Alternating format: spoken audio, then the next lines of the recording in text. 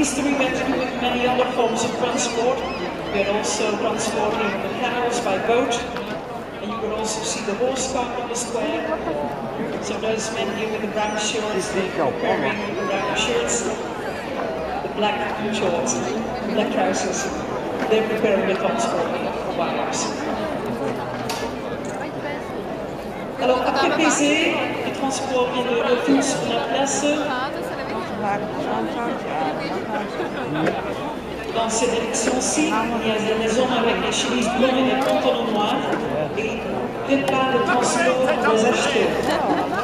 Alors, à l'époque, dans l'histoire, des autres formes de transport ici à Bien, bien sûr, alors, on a utilisé la canot, alors il y avait des transports avec les bateaux et il y avait aussi des chevaux ici sur la place. Na het weten, dames en heren, komt het transport terug plein in deze richting. En voorbereiders van het transport. Dat zijn de mannen met de bruine kielen aan. Ook wel ingooiers genoemd. Vanwege de handelingen kunt zien dat de kazen ingegooid worden. Het is een traditionele kaasbrik of handbrik. En in de geschiedenis hebben we terug ook te maken andere vormen van transport.